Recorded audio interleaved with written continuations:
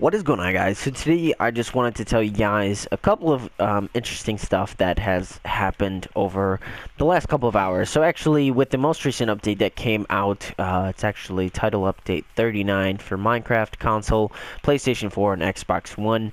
I don't know if you guys saw the video that I had posted, it was on title update 38 and it actually showed you how to duplicate uh, blocks of diamonds uh, blocks of diamond into diamonds and uh, keep on duplicating so you can get as max as many as you want. And as you can see uh, those are the ones from the original video and if you try to use the same method, actually by pressing L2 in options, this is actually patched, doesn't allow you to uh, keep one inside of your hand and to keep one, uh, you know, being able to be thrown on the ground. So it doesn't allow you to duplicate anymore. Unfortunately, they decided to patch this. Just wanted to let you guys all know.